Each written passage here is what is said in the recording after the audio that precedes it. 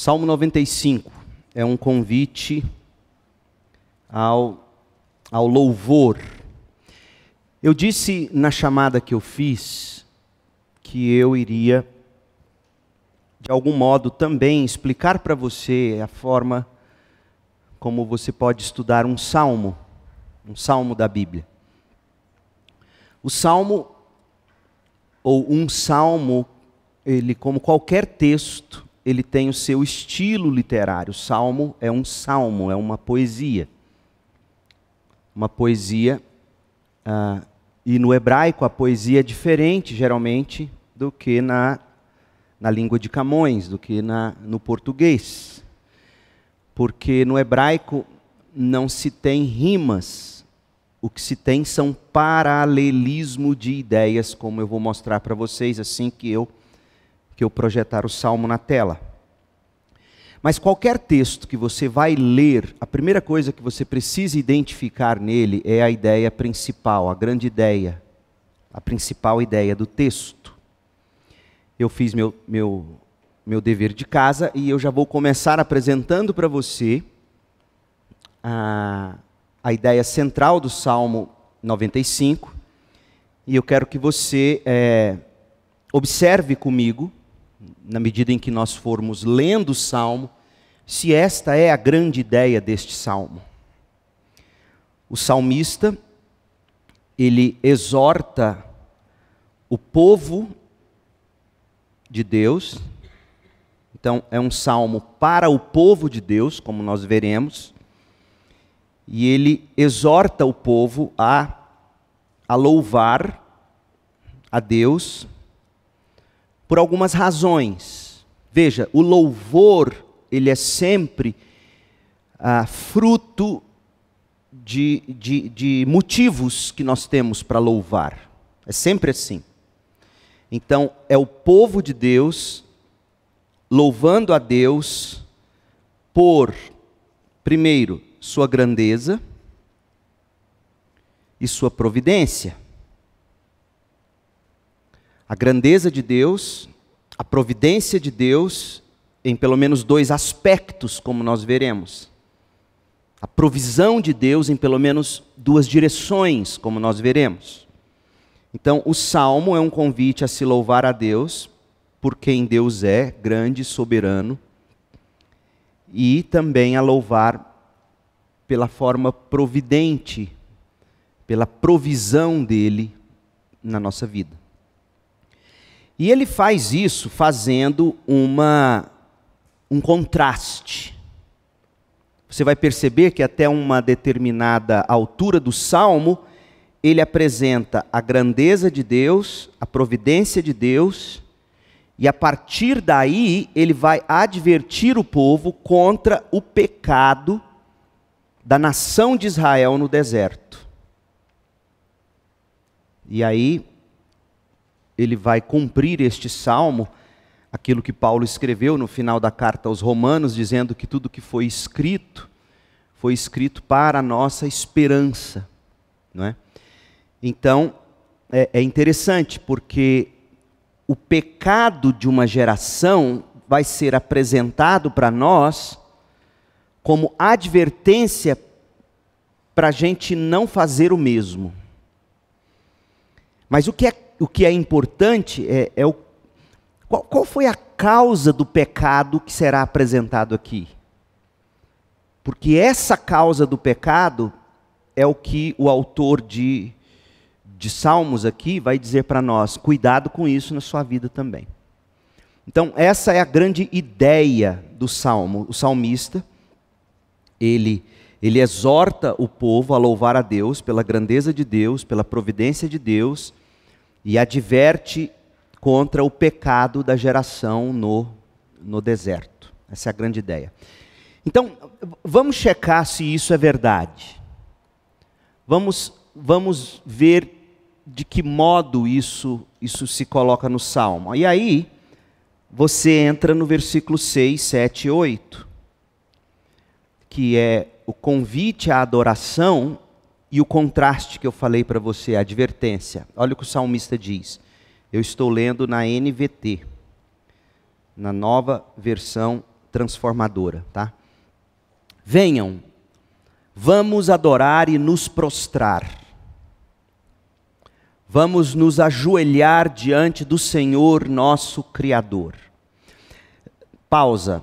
Lembra que eu falei que na poesia hebraica, no Salmo, diferentemente do português, onde as estrofes elas rimam na poesia, no nosso idioma, no inglês, no francês, nas línguas latinas, no caso, no italiano, etc.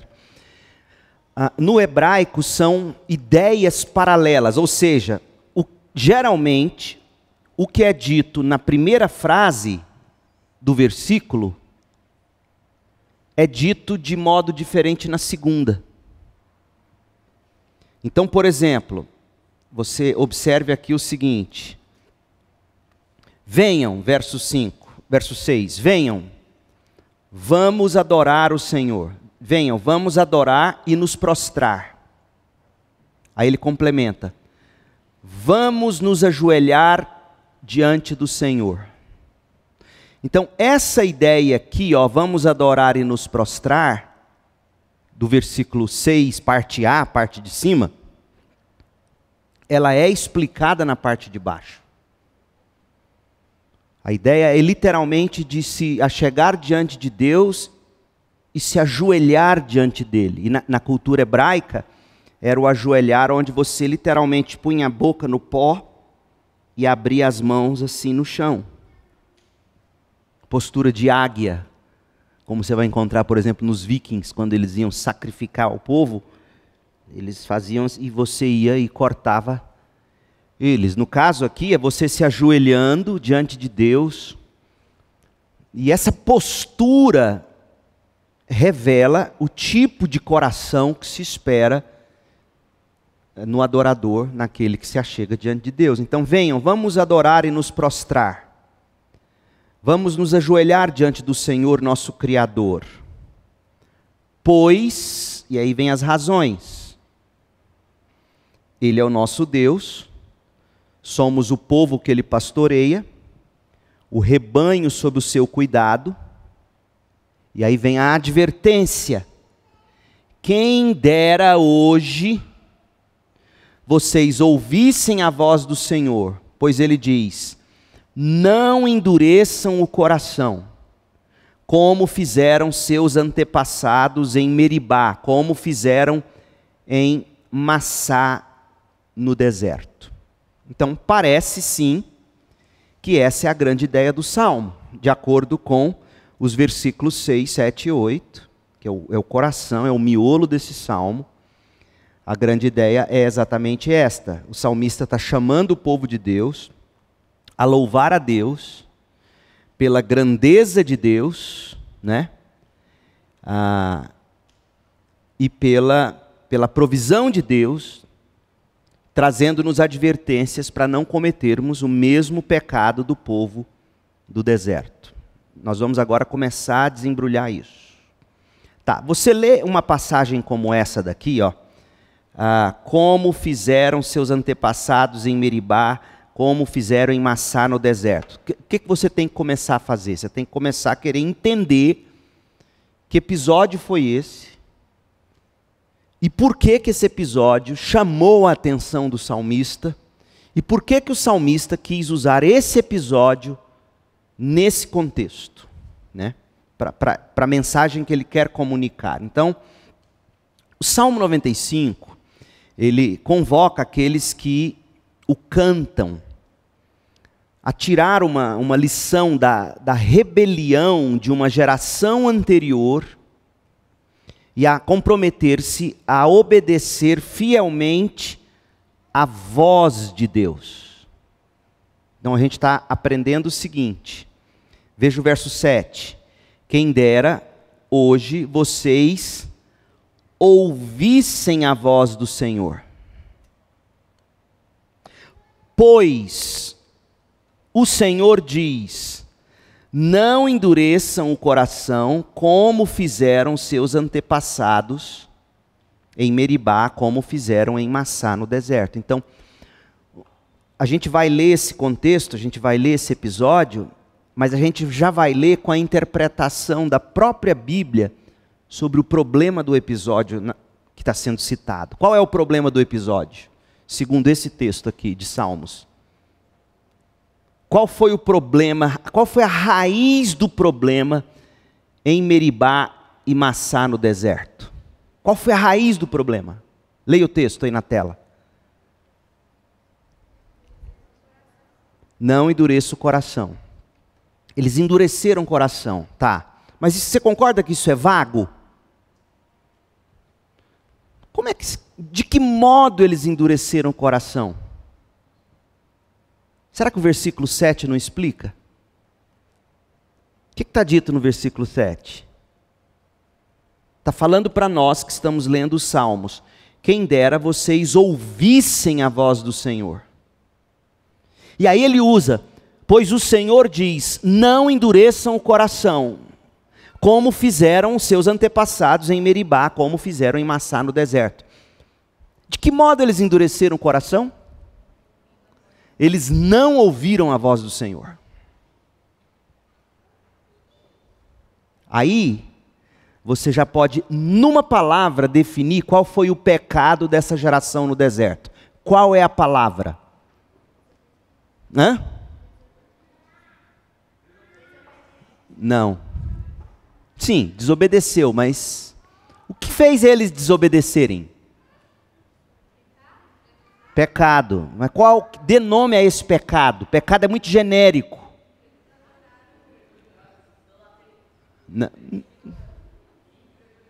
Incredulidade. Por quê? Porque a voz do Senhor foi audível. Não, não é que eles não ouviram como se fossem surdos, é que eles não ouviram no sentido de não crerem, não obedecerem. Eles foram incrédulos. E porque eles foram incrédulos, eles desobedeceram. Por não acreditar ou não considerar a voz de Deus, eles agiram de um determinado modo. De que modo, Guilherme? Desobedientemente. A desobediência é fruto da incredulidade, de ter ouvido a voz de Deus e ter dito: Ah, não foi bem isso que Deus disse. Aí nós vamos ler o texto, você vai entender por que, que é incredulidade. Mas, mas perceba, o salmista está chamando a gente para ouvir a voz de Deus. Não ouvir a voz de Deus é endurecer o coração é trancar o coração. Sabe quando seu coração está trancado para alguém? Não adianta essa pessoa falar, não adianta essa pessoa fazer qualquer coisa. Seu coração simplesmente endureceu e essa pessoa não tem penetração, não tem entrada na sua vida. Foi isso que eles fizeram com Deus.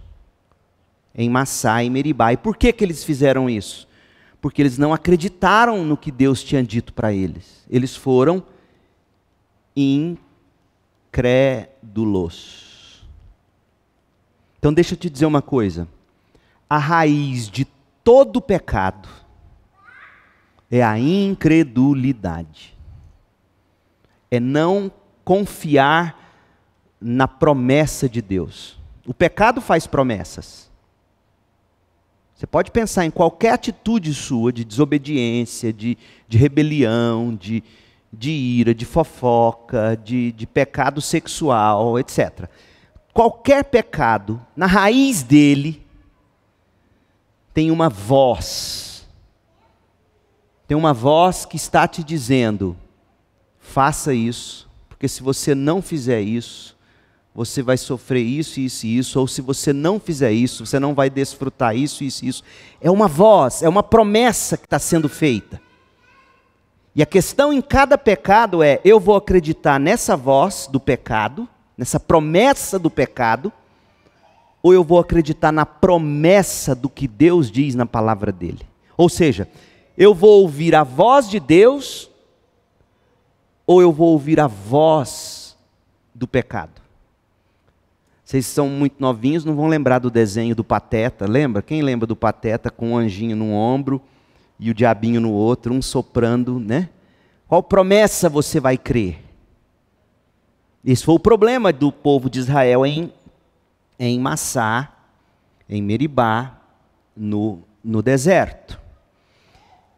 Agora veja, a combinação de Meribá e Massá mostra que o salmista tomou como ensinamento os murmúrios de Israel contra Moisés.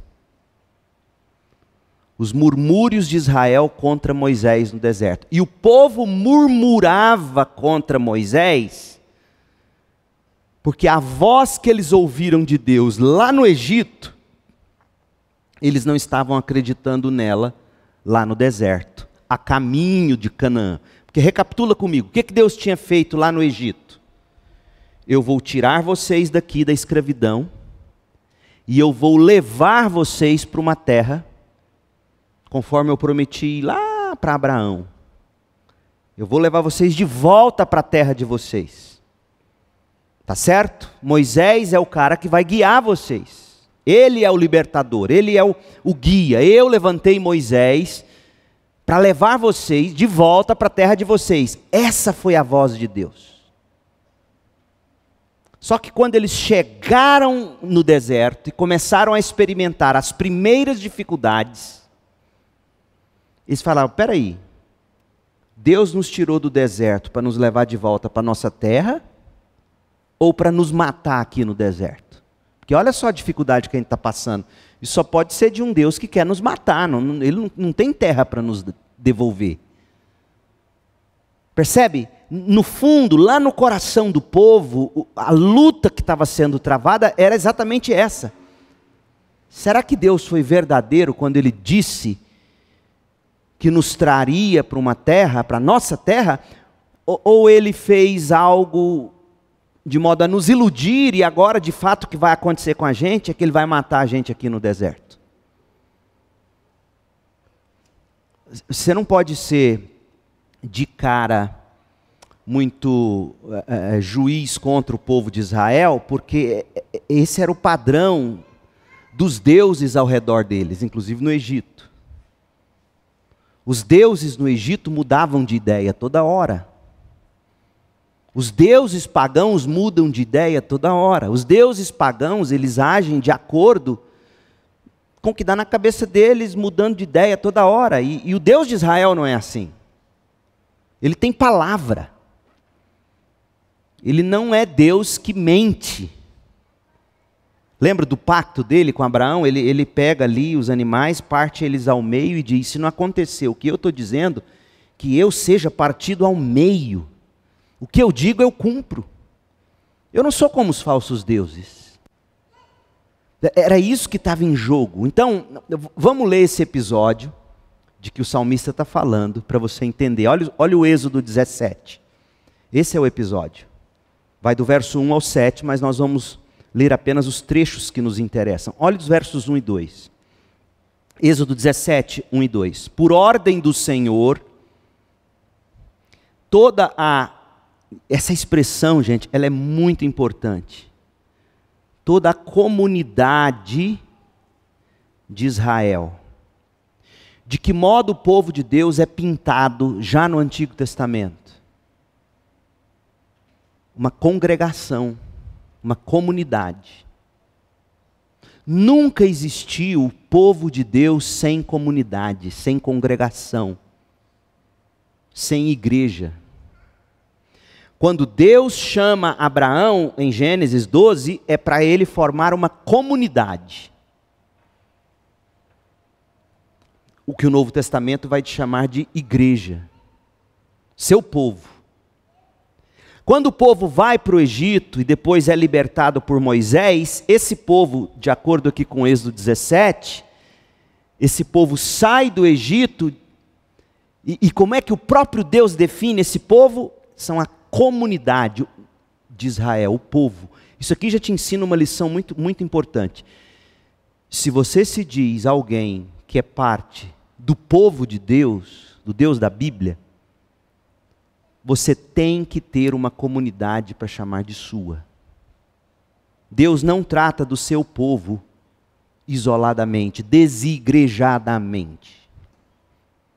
Então eles, saem como comunidade, partiu do deserto de Sim, andou de um lugar para o outro, locomoveram-se. Por fim, acamparam para em Refidim, mas olha só a dificuldade. Ali não havia água para beberem. Essa é a dificuldade. E nós estamos falando de algo essencial para a sobrevivência. Não é, não está dizendo aqui que acabou o sinal do Wi-Fi. Você vive sem sinal do Wi-Fi ou não vive? Alguns não, né? Você vive sem smartphone ou não vive? Alguns não, mas supostamente a gente vive sem celular, a gente vive sem, eu ia dizer sem roupa, mas não. A gente vive, a gente vive sem as coisas que a gente geralmente costuma ter como essenciais, mas tenta viver sem água. É provável que você viva mais tempo sem comida, bebendo água, do que com comida e sem água. Água é essencial. E eles não tinham água para beber. Aí, olha o que, olha o que Moisés conta para a gente. Mais uma vez, o povo se queixou. E queixou do representante de Deus, queixou de Moisés. Não apenas queixou, exigiu dê-nos água para beber. Moisés retrucou: Por que vocês brigam comigo? E aí Moisés diz algo muito interessante. Na verdade, vocês não estão brigando comigo. Vocês estão colocando o Senhor Deus à prova. Bom, pensa comigo. De que modo Deus estava sendo colocado à prova aqui com essa atitude do povo da comunidade de Israel? Lembra que eu disse que Deus, se você conhece a história da Bíblia, Deus tirou eles do Egito para levá-los de volta para Canaã, a terra deles. Deus prometeu que faria isso. Agora, Deus não prometeu que seria com ar condicionado e água mineral, com gás sem gás. Deus não prometeu isso. Prometeu que os levaria. E aí, quando eles encontram a primeira dificuldade, digamos, faltou água, um item essencial, eles começaram a pensar: Deus, Deus não, ele nos, nos tirou de lá para nos levar para Canaã. Ele quer nos matar. Olha só, está faltando água. Faltando água. Você tem noção, Moisés? Para você entender que é isso, continue lendo. Verso 3. Afligido pela sede, o povo continuou a se queixar de Moisés. Olha só, agora, olha, olha a pergunta. Por que você nos tirou do Egito? Primeiro, foi Moisés que tirou eles do Egito? Quem tirou eles do Egito? Deus, eles sabiam disso. Mas a culpa agora é do pastor. Não é de Deus, mas é de Deus, porque eles estão culpando o homem que Deus levantou. A culpa é da mulher que Deus deu para Adão. Veja, nunca muda o padrão do pecado. Aí, por que você nos tirou do Egito? Você quer matar de sede a nós? Nossos filhos? Nossos animais? Os animais aqui não são os pets. Não é o meu pet de estimação. Incluía isso, obviamente, mas, mas eles estão falando aqui você quer acabar com a nossa carne, com a nossa proteína, com, com o nosso meio de transporte? Ou seja, esse povo vai começar a morrer de sede, nós não vamos ter animal para nos levar de volta, nem para nos levar para frente, nós não vamos ter carne para comer. Você percebeu, Moisés? Por que, que você tirou a gente do Egito? Eles esqueceram da voz de Deus diante da dificuldade. E de novo, a dificuldade era real, gente. Uma dificuldade, ela nunca chega sem ser real. É a água que está faltando. Então Moisés clamou ao Senhor, e, a, e, a, e o clamor foi correto. O que devo fazer a este povo? Eles estão a ponto de de me apedrejar, eles vão me matar. E aí Deus deu a instrução para Moisés. Moisés bateu na rocha, como Deus mandou, a água jorrou, eles beberam água. Do verso 5 ao 6 é a descrição de como isso aconteceu. Agora, olha como termina o texto. Verso 7. Moisés chamou aquele lugar de Massá e Meribá, exatamente como está lá no Salmo 95. Esse é o episódio. E Massá e Meribá, porque o povo de Israel discutiu com Moisés e pôs o Senhor à prova, dizendo: O Senhor está conosco ou não? A incredulidade é essa daqui, ó. O Senhor está conosco ou não? Mas Deus disse que estaria, Deus disse que os levaria. Eles foram incrédulos, chegou num ponto que eles não acreditavam de que Deus de fato estava com eles. Pois bem, o salmista pega esse episódio e diz: Não faça como Israel. Você tem ouvido a voz de Deus pela revelação de, que o próprio Deus faz de si, pela Bíblia? Você tem ouvido a voz de Deus? Então se guie pela voz de Deus não porque está faltando água. Não pelas dificuldades. Não é assim que você mede se Deus está ou não com você. Não é pelas dificuldades. É pela voz de Deus. Deus tem guiado você, Deus, Deus tem se revelado, tem falado com você. Então ouça e prossiga. Só que esse acontecimento de Massá e Meribá, que a gente leu em Êxodo 17, não levou ao juramento decisivo que está descrito no Salmo 95, verso 11. Eu botei aqui um, mas na verdade é o Salmo 95, 11. No Salmo 95, 11, a gente lê assim, ó. Assim jurei em minha ira, jamais entrarão no meu descanso. Só que a gente viu que, que Deus não jurou isso lá em Êxodo 17, Deus jurou isso em Números 14. Foi depois que o povo de Israel, já perto da terra, viram a terra, porque mandaram espias, os espias viram a terra, voltaram com o relatório da terra, dizendo que era uma terra muito boa, de fato, com frutos enormes, jorrava leite e mel, mas tinha um problema. Tinha gente tão grande, tão grande, que eram gigantes, ia destruir Israel. E aí eles não acreditaram de novo na palavra de Deus. Espera aí, Deus está nos levando para a gente ser morto pela mão daquele povo lá de Canaã?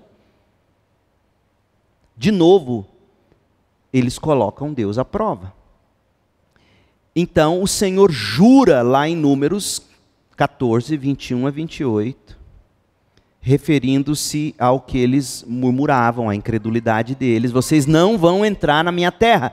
Juro como eu vivo, diz o Senhor. Vocês não vão entrar, essa geração não vai entrar. Vai entrar os filhos de vocês. Vocês não vão entrar.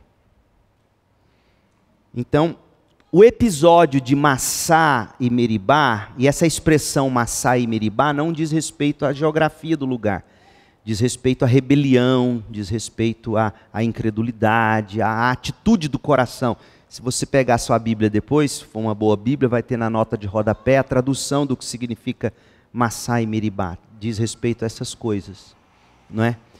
é de, de, rebelião, de, de confronto, de, de incredulidade e tudo mais. Então, esse episódio em Massá e Meribá, o salmista tomou como o paradigma das atitudes de Israel, ou seja, sempre que Israel se via desafiado por alguma coisa, eles questionavam a bondade de Deus, a sabedoria de Deus. Eles se esqueciam da voz de Deus. No primeiro momento, faltou água. Então Deus quer nos matar no deserto. No segundo momento, eles enjoaram de comer o maná. Começaram a lembrar das cebolas, do tempero do Egito. Agora aqui eles estão vendo a terra, estão ouvindo que a terra é boa, mas eles estão dizendo: não, mas tem gente lá que é maior do que a gente, vai matar a gente. Deus não quer fazer coisa nenhuma, ele quer, ele quer nos destruir. Então, é, é isso que o salmista está fazendo. Ele está mostrando que a voz de Deus foi ouvida, num primeiro momento, foi crida. Eles saem do Egito, eles veem Deus libertando eles com um braço forte, atravessam o Mar Vermelho de maneira miraculosa. Só que chegando no deserto, eles dão de cara com as dificuldades. E a vida é assim, gente. Você que é crente, você começa, você se converte a Cristo, num primeiro momento é tudo maravilhoso. Você vê as grandes maravilhas de Deus. O mar se abre, literalmente. Você vê Deus cuidando de você, mas a vida, ela é feita de jornada no deserto. E aí, diante da primeira dificuldade, você começa a questionar a voz de Deus. Será, será que Deus me, me fez virar crente para eu passar por isso? Eu me lembro quando eu converti com 20 anos, e as primeiras dificuldades que eu tive, eu comecei a pensar assim: peraí, quando eu não era crente, eu não, eu não sofria o que eu estou sofrendo agora. Quando eu não era crente, eu não passava por isso. Aí eu comecei a ler a Bíblia. Lendo a Bíblia, eu fui descobrindo que as mesmas queixas do meu coração eram as queixas do povo, desde sempre. Porque essa é a sua, é a minha, é a nossa tentação. Peraí, Deus, é, Deus me salvou para eu passar por isso? Será, será que Deus é bom mesmo? Será que Deus gosta de mim mesmo? Será que Deus, de fato, é, tem o melhor para a minha vida? Como eu cansei de ouvir? E aí o resultado é que Deus fez aquele povo caminhar por 40, dias, 40 anos, porque os 40 dias de espionagem daqueles espiões que foram, dentre eles encontravam-se Josué e Caleb, foram os únicos dos espias, os únicos que acreditaram, não, Deus vai nos dar aquela terra. 80% dos que foram disse: não, não, nós vamos morrer lá. É terra excelente, mas lá não, não é páreo para nós, não. Aí Deus fez esse povo vagar 40 anos e nesses 40 anos, um a um dos incrédulos foi morrendo. Surgiu uma nova geração, essa nova geração entrou em Canaã. O que, que você vai descobrir quando você começa a ler o livro de Juízes, de Josué, de Juízes, eles na terra, eles vão cometer os mesmos pecados. Eles vão esquecer da voz do Senhor, eles vão agir com incredulidade. Então, o Salmo 95, ele pega esse incidente de Massá e Meribá como uma parcela inicial da incredulidade do povo que foi persistente e que culminou lá em números com Deus negando, dizendo: vocês não entram na terra. E aí ele diz, o salmista: não cometa o mesmo erro, não duvidem da palavra de Deus. Não duvidem. Dito isso, a gente pode ler o salmo. E é o que a gente vai fazer agora. E aí, meu povo, com todo esse pano de fundo que eu te dei, você vai ver que o salmo vai saltar aos olhos de outro modo. Às vezes as pessoas me perguntam, Pastor Leandro, como é, como é que você faz para extrair tantas coisas dos salmos? Na verdade, eu não extraio o que não está, espero. Porque se eu fizer isso, eu estou sendo um péssimo pregador, ainda que eu impressione as pessoas. Eu tenho que extrair o que de fato está no texto. Porque o povo de Deus se reúne para ouvir não o que está na minha cabeça quando eu prego ou ensino, mas o que está na palavra de Deus. Então, o que geralmente eu faço é entender o contexto da passagem, como eu tentei mostrar para vocês, com todas essas elucidações que eu fiz Todas essas elucidações que eu acabei de fazer, elas estão na minha cabeça quando eu estou escrevendo e preparando esse salmo. Ao mesmo tempo que eu tenho na minha cabeça toda a história da revelação, da redenção de Deus, de Gênesis a Apocalipse. Porque é assim que você tem que ler a Bíblia. Feito essa tarefa de casa, feito essas elucidações, vamos ler o salmo, você vai ver que ele vai ter outra cor. Uh, Salmo 95, ele tem duas partes principais. É uma celebração e é um alerta, como eu já disse lá na ideia inicial, na grande ideia do, do começo do livro. Lembra aqui, quando a gente viu isso aqui? O salmista, ele, nessa primeira parte aqui, ele está ele tá fazendo um convite, na segunda parte, ele está fazendo uma advertência, uma celebração, porque Deus é rei, privilégio que o povo tem de ser súdito desse rei, olha, olha que interessante. O privilégio de se, ser súdito desse rei, gente, à luz de toda a história que eu acabei de contar, de Massá, Meribá, o povo no deserto, o que, que eles questionaram o tempo todo no deserto? Não foi a bondade de Deus? Não foi a sabedoria de Deus? Não foi o modo de Deus agir? E aí o que o salmista vai fazer do verso 1 ao 7 é mostrar para você que, você que você e eu temos muito mais a celebrar do que a gente imagina.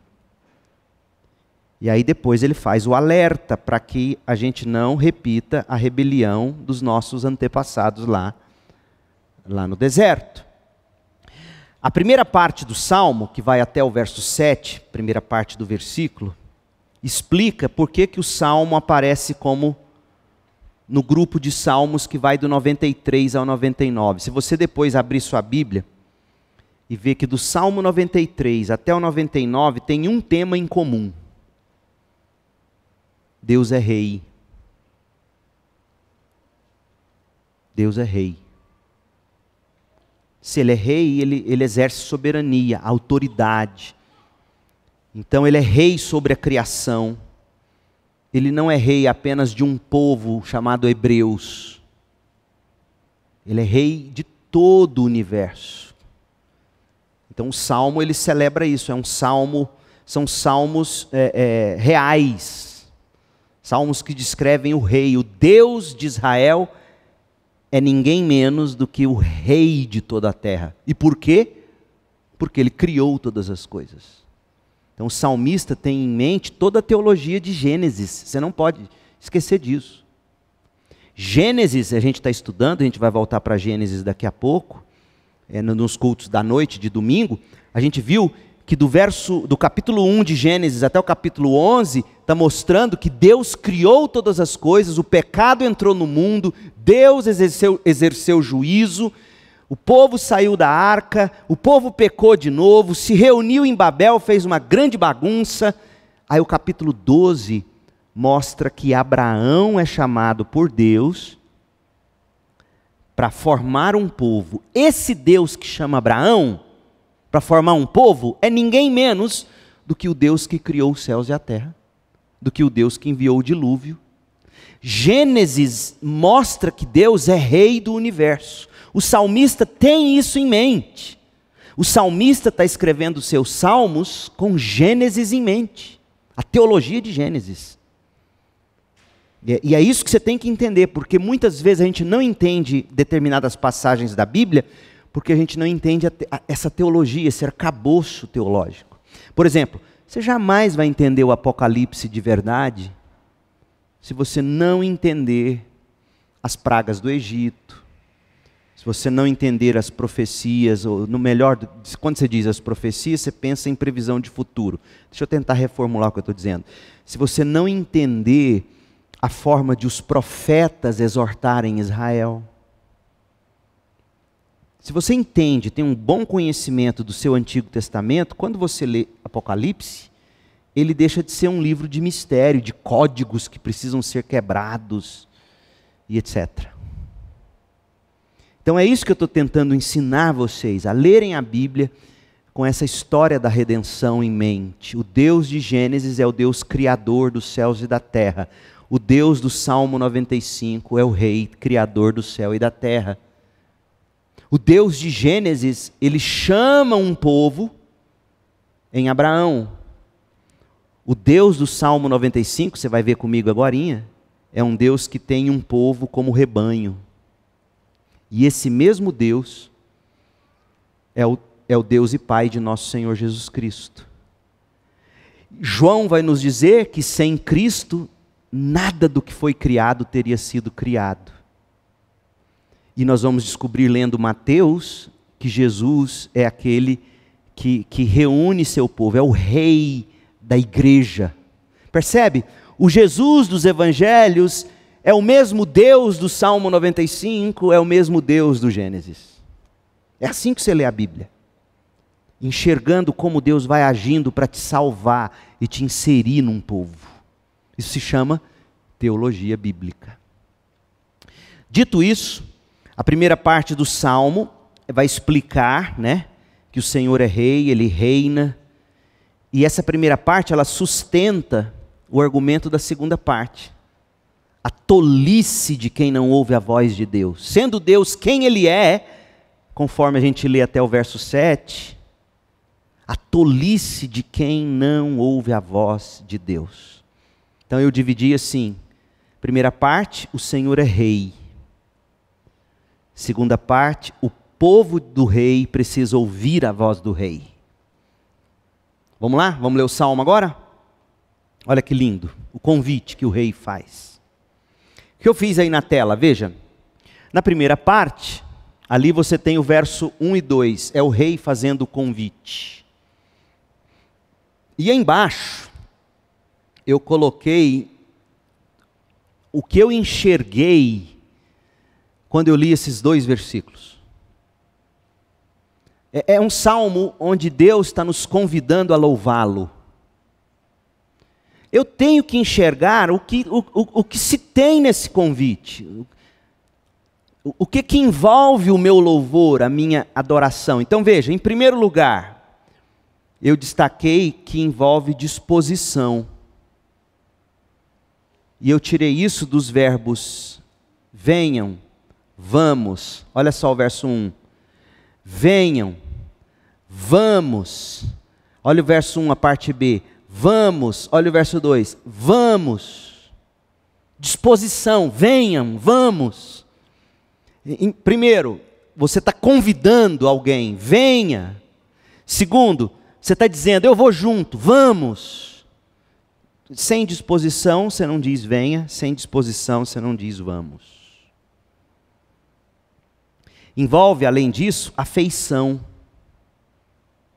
Venham, vamos cantar, vamos aclamar. Está vendo no verso 1? Os verbos cantar, aclamar, afeição, canta e aclama quem faz de coração. Gratidão, porque fala no verso 2 de ações de graças. Musicalização no louvor, porque fala de, de voz, instrumentos. Esse salmo foi escrito para ser cantado acompanhado de instrumentos. E, e, e existem as letras dos salmos para serem cantadas. Vamos cantar a ele com salmos de louvor. Veja.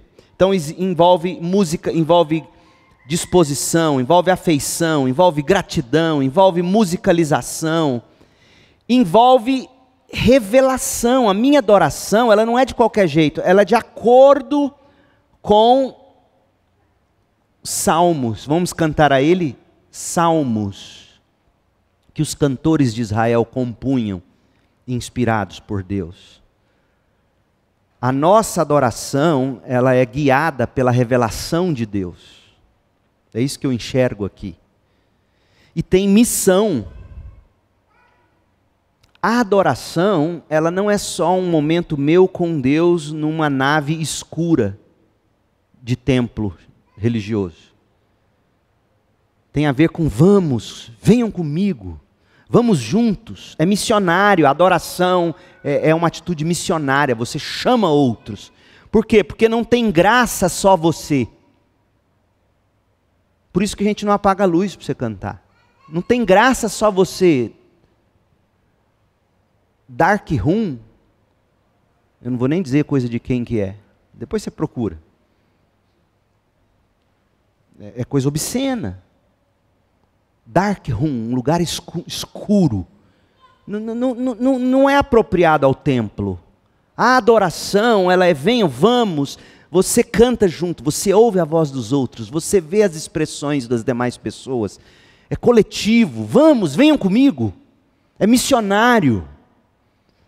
O convite não é para você se juntar com outros diante de Deus, escondido no escuro do templo. É o povo de Deus junto.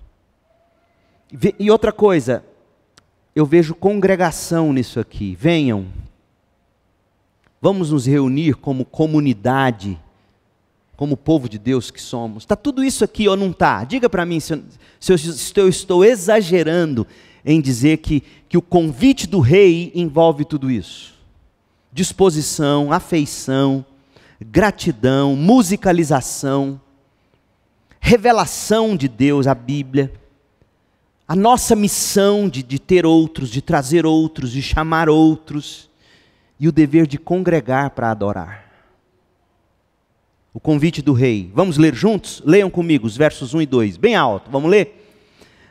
Venham, vamos cantar ao Senhor, vamos aclamar a rocha de nossa salvação, vamos chegar diante dele com ações de graças e cantar a Ele salmos de louvor. Agora eu quero te desafiar te revelando o seguinte. Estou apagando aqui porque eu quero que você veja o texto comigo. Essa adoração só é possível por causa do Evangelho de Jesus. Por que, que eu digo isso com base na, no primeiro verbo, no verso 1? Por que, que é necessário o Evangelho de Jesus para você adorar a Deus, como esse salmo está dizendo? Pensa no verbo, venham. Quem está chamando? O povo. Venham, vamos, vamos nos reunir diante de Deus para cantar louvores a Deus, certo? Em, outros, em outras palavras, o próprio Deus está chamando o povo dele. Por que, que eu digo que você precisa do Evangelho com base no verbo venham? Qual foi a grande consequência do pecado? Como é que o capítulo 3 de Gênesis termina, depois da queda? Que, que, que Deus fez com o povo dele, com Adão e Eva? Expulsou do jardim, botou dois anjos dizendo para vocês não virem. E agora Deus diz: venham. Só é possível Deus dizer: venham, porque Cristo foi sacrificado no nosso lugar e nos abriu o novo e vivo caminho, e agora a gente tem acesso a Deus. Esse salmo custou sangue para poder ser cantado por nós. De outro modo, Deus não nos deixaria entrar na presença dEle anjos guardaram o jardim com espadas flamejantes. Você tem noção do que custou para eu e você podermos vir a Deus e cantar a Ele? Você tem noção da grandiosidade do Evangelho, da boa notícia? A gente pode ouvir a voz de Deus dizendo: venham. E não só pode ouvir, a gente recebe de Deus a condição de ir, a capacidade de ir a Ele. Nós não estamos entregues à nossa própria força. É isso que está aí no Salmo 95, verso 1. Então você vê o Evangelho aqui, você vê Cristo, você vê a congregação reunida, as pessoas que foram lavadas pelo sangue vindo reunir-se diante do Cordeiro cantando a Ele, chamando outros, dispostas, com afeição em chamas para Deus. É isso que está aí. Venham, vamos cantar, vamos aclamar a rocha da nossa salvação. Rocha, o lugar seguro, onde nós nos, nos colocamos em pé, sem vacilar, sem cair. Alguma observação aqui nesse começo? As razões dadas. Por que, que a gente tem que cantar a esse rei? Pois o Senhor é o grande Deus. O, gran, o grande rei acima de todos os deuses. Não há outro Deus. Você, povo de Israel, pode até achar que o Deus que tirou vocês do Egito é um deusinho como os deuses lá do Egito que muda de ideia toda hora. Uma vez que você ouviu a voz de Deus, o que você ouviu de Deus, Deus não mente para mudar de ideia. Ele está acima, ele é rei acima de todos os deuses. Ou seja, não tente medir Deus pelas categorias humanas.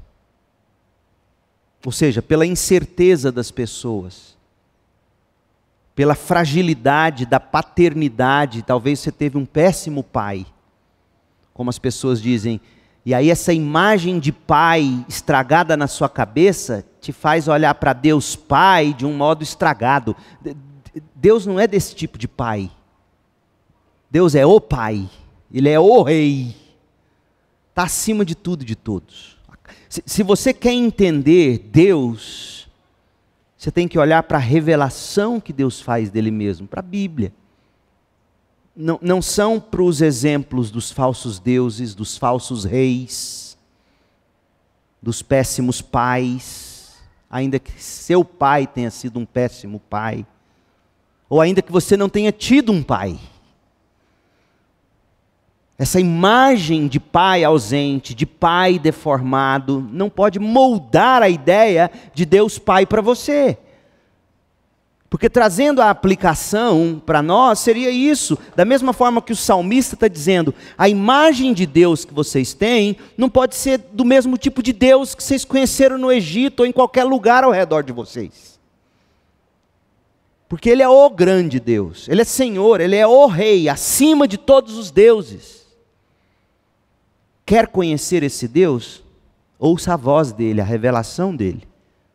Não, não use parâmetros humanos, culturais, sociais. Outra coisa, em suas mãos estão as profundezas da terra. De onde vem água? Faltou água no deserto, não foi por isso que o povo murmurou? De onde vem água?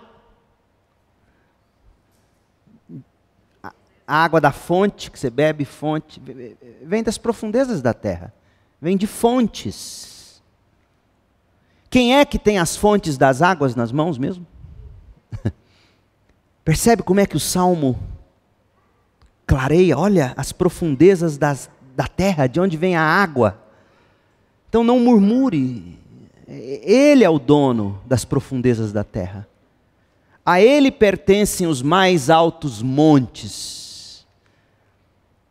de onde vinham as águas que do degelo formavam riachos, geralmente no mundo antigo. As águas mais caras vêm lá dos Alpes, não sei de onde, aquelas águas caríssimas, você já viu?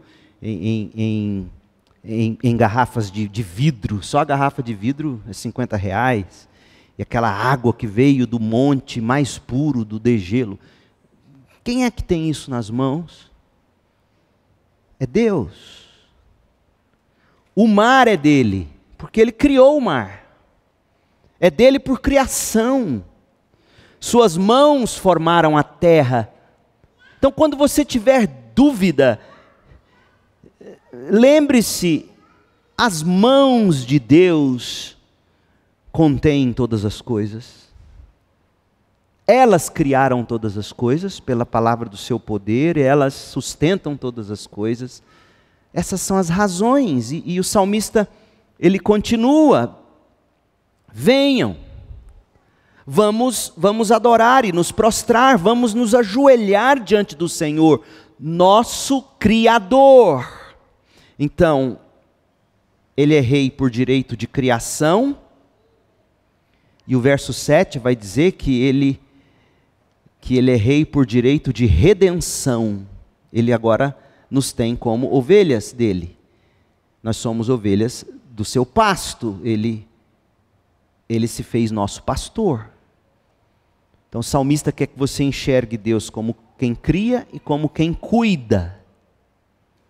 Esse é o Deus que criou e cuida de vocês. E aí você poderia enxergar aqui a grandeza e a majestade de Deus no verso No verso 3, que a gente acabou de ler, você pode, você pode ver a soberania de Deus. No versículo 4, nas suas mãos tem as profundezas da terra e tudo mais. E a soberania de Deus se expressa aqui nos versos 5, 6 e 7, porque ele cria e ele pastoreia. Ele é transcendente, ele é imanente, ele é todo poderoso e ele é todo cuidadoso. É isso que o salmo está te enxergando. Ou seja, sabe o orgulho que uma criança tem do pai? Sabe aquele homem forte? Ele é meu pai. Sabe, sabe quem criou isso aqui tudo? Ele é meu Deus. E ele cuida de mim. E ele me salvou. O salmista continua e vai dizer, à luz de tudo isso, quem dera hoje vocês ouvissem a voz do Senhor. Lembrem-se disso, Ele criou vocês, Ele redimiu vocês, Ele, Ele tem todas as coisas sob o controle de Suas mãos, Ele é o seu pastor. Então, não faz como aquele povo do deserto, que endureceu o coração, que não ouviu a voz de Deus. Está vendo como é que o, que o salmo ele, ele se torna maravilhoso? Assim como a geração no deserto testemunhou a glória divina. Sabe, sabe como é que você e eu, nesta geração, podemos experimentar a glória de Deus? O salmista está dizendo, ouvindo ele pelas Escrituras. Aquele povo viu Deus se manifestar de maneiras tremendas e ainda assim se endureceu. Nós temos a palavra de Deus. O salmo continua. Ali eles me tentaram e me puseram à prova, apesar de terem visto tudo o que fiz. Tem gente que acha que se as pessoas vissem mais milagres, elas seriam mais crentes. O salmista está dizendo que não, não depende de mais milagres, depende de coração disposto a ouvir e obedecer. Olha o que Joel Bick escreveu sobre esse versículo. Se nos recusamos a crer na Escritura, então nem mesmo os milagres nos ajudarão. Israel viu muitos milagres, mas a maior parte daquela geração do deserto se rebelou contra Deus. Você não precisa de muitos milagres. Você precisa crer na palavra de Deus. E o salmo termina: por 40 anos eu estive irado com eles e disse: São um povo cujo coração sempre se afasta de mim. Recusam-se a andar nos meus caminhos. Por que, que eles se recusaram a andar nos caminhos de Deus? Porque eles não acreditavam na voz de Deus. Assim eu jurei na minha ira: jamais entrarão no meu descanso. Eu poderia ler, ler, com você Hebreus 4, que fala que o nosso descanso é Cristo. Né? Esse descanso apontava para Cristo. Por que, que a gente não guarda sábado como adventistas do sétimo dia? Porque a gente entende, a gente não quebra o mandamento de não guardar sábado, a gente procura guardar o descanso, mas a gente entende que o fim último daquele mandamento foi cumprido em Jesus Cristo. Olha o que diz Hebreus 4:8. Se Josué lhes tivesse dado descanso, por que Josué? Porque foi Josué que levou o povo para a terra, a terra do descanso. Se Josué lhes tivesse dado descanso, Deus não teria falado de outro dia de descanso por vir. Logo, ainda há um descanso definitivo à espera do povo de Deus, porque todos que entraram no descanso de Deus descansam de seu trabalho, como Deus o fez após a criação do mundo. Portanto, esforcemo-nos para entrar nesse descanso. Mas se desobedecermos, como no exemplo citado, nós nós cairemos. Nosso descanso é Cristo. E Jesus vai dizer isso: Venham a mim, todos os que estão cansados e sobrecarregados, e eu lhes darei descanso. Esse é o salmo. E aí você faria o que agora? Você iria olhar diante de tudo isso e tentar extrair aplicações. Eu, eu, eu extraí três. Primeiro, A adoração engaja as pessoas para cantar louvores a Deus, como o Salvador confiável, o Rei Supremo, o único Criador de todo o universo. Nós ouvimos a voz de Deus na leitura e na pregação da palavra. Essa é a primeira aplicação que eu faria. Nós somos chamados pela leitura da palavra, nós somos chamados pela pregação da palavra a cantar louvores a Deus. Nosso coração endurece na medida em que a gente não não acha espaço para a palavra entrar. Na medida em que você não ouve a palavra, não lê a palavra, não canta a palavra, não ora a palavra, isso é o coração. Então, a, a primeira resolução que você deveria fazer hoje à noite, diante desse salmo, é: Senhor, me dê um coração aberto para a Sua palavra. Eu quero ouvir Sua voz, eu quero crer na Sua voz e eu quero praticar o que Sua voz me diz pela Sua palavra. A segunda aplicação que eu faria é no culto de adoração coletiva da igreja.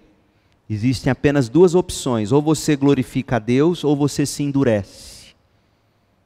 Porque quanto mais exposto à palavra de Deus, sem fé e sem disposição para praticá-la, mais você fica duro. Sabe por quê? Porque mais você vai se esforçar para não ouvir, ainda que você esteja presente. Então você nunca conseguirá ficar neutro num culto de adoração. Ou você está sendo amolecida pelo sol da palavra de Deus, ou você está sendo endurecida pelo calor do sol da palavra de Deus. De duas, uma. Diante da voz de Deus, diante da palavra de Deus, seja você lendo a Bíblia, adorando no culto coletivo, ou a palavra de Deus está te derretendo, ou ela está te endurecendo. Você nunca vai sair neutro de um culto. Ou você vai sair mais duro, com cinismo, com indiferença, e cada vez mais vai ser difícil você sentar num templo para ouvir a pregação. E aí você vai buscar outros estímulos nos cultos de adoração. Por isso que muita gente confunde adoração com movimento, agitação, barulho, estímulo. Porque quer menos da voz de Deus. É muito sério o que eu estou dizendo. A voz de Deus ela é suprema no culto de adoração. A palavra de Deus é suprema na reunião do povo de Deus. E essa voz proferida, ou ela amolece você, ou ela endurece você. Dependerá de fé. E fé é dom de Deus. Então, o segundo desafio, o primeiro é, Senhor, acha espaço no meu coração para a tua palavra. E o segundo é o mesmo, Senhor, que a Sua palavra amoleça meu coração, não me torne mais cínico, mais crítico, mais indiferente, mais seco, a ponto que aí você sabe que você não pode ficar longe da igreja, mas você está tão cínico, está tão indiferente, está tão calejado, que aí o que você vai querer é uma igreja que de algum modo te movimenta, não com a palavra, mas com as sensações, com as percepções, isso é sua morte. Isso é, é chá de santo daime, disfarçado de Bíblia. Muitas igrejas oferecem chá de santo daime. É êxtase. E não é a voz de Deus. E a última aplicação é que muitos vão ao culto para se colocar sob a ira de Deus. A única maneira de entrar na bênção do descanso é pela fé em Cristo. Portanto, não se engane pensando que você pode ficar neutro no culto com a Bíblia diante dos seus olhos.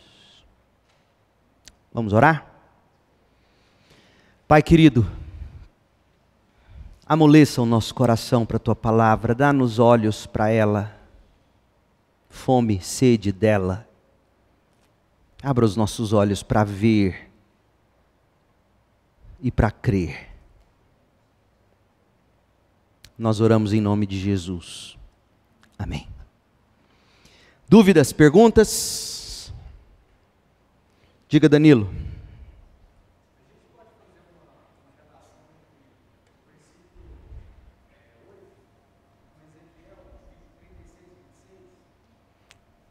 Que diz em Ezequiel? Por favor. Ezequiel o quê?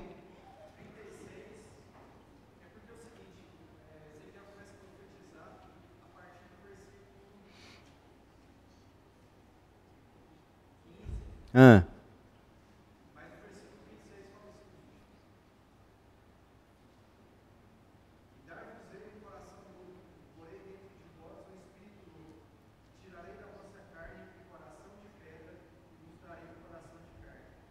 Excelente lembrança, lembrei do texto.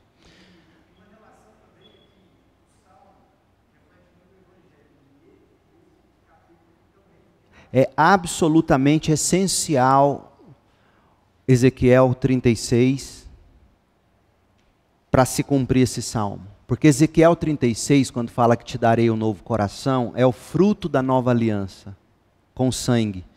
O sangue de Jesus, ele comprou duas coisas para a gente: o perdão, porque Jesus foi o nosso substituto, e o sangue de Jesus comprou para nós a regeneração, que é um coração de carne, que agora vai ouvir vai crer, vai amar, vai viver a voz de Deus, a palavra de Deus. Quando a gente celebra a ceia, a gente está celebrando essas duas coisas: o sangue da nova aliança, o substituto e o Espírito que foi enviado. O substituto que morreu no nosso lugar, pagou a nossa pena, e o Espírito que nos foi enviado para nos regenerar, nos dar um coração que é capaz de de ouvir e não ser duro. Sem a nova aliança, sem o cumprimento dessa promessa de Ezequiel, você não vive o Salmo 95. Muito bem lembrado. Isso é uma maneira excelente de você fazer relação entre o texto e os outros textos da Escritura. Por isso que lembra que durante as minhas aplicações eu falei muito de você pedir a Deus um coração assim? Porque um coração assim, ele é fruto da obra do Espírito, que regenera. O que é regenerar? É gerar de novo com vida, dar vida, ressuscitar. Ele regenera e ele vai aplicando a palavra ao nosso coração. É fundamental.